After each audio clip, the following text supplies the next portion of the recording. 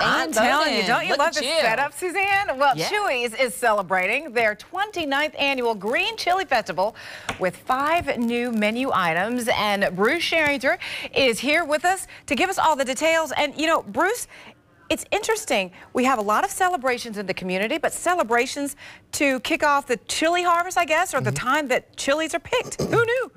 That's correct. Uh, well, the whole process begins in uh, April, um, Wow. in, uh, when they start planting the seeds in uh, New Mexico, Hatch, New Mexico, a little town. Mm-hmm. Uh, we have several acres upon acres of just, you know, land that we plant our chilies in.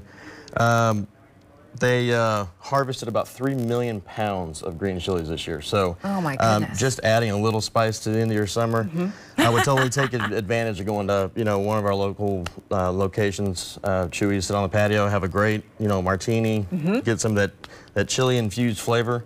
And what can it go into? Because I'm seeing drinks here. I'm seeing, you know, the menu items kind of talk about what chilies. I'm thinking of hot, spicy, but you can put it in a lot of things. Oh yeah, um, I think um, the most popular beverage that we have right now uh, during this time, especially for harvest time, would be the New Mexican Martini. It's our uh, tequila that's been infused with our uh, hatch green chilies, and it's a it's a superb flavor. Is it is Um, it spicy? Do you do you taste the spice? Um, you do, uh, but it's really mellow. Okay, uh, if all the right. tequila kind of cuts it out a little bit. Of course, the, the, the lime juice and the uh, sugar water really help it out. Um, but uh, it's it's a great way to kick back and just enjoy, uh, you know, Chuy's as a whole.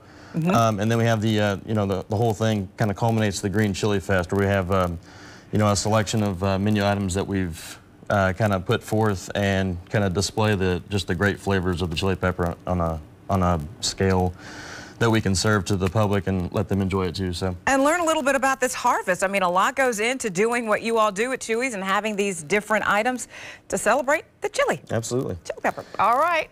Well, let's get some more details about the 29th annual Green Chile Fest. It's been going on a long time. It's popular. Is August 14th through September 3rd. Now, this year, Chuy's is bringing more than 3 million pounds, as you heard, of peppers from New Mexico. What a business right there. Now, the restaurant chain will feature five new menu items plus drinks, and it's all made with those legendary Hatch green chilies. So,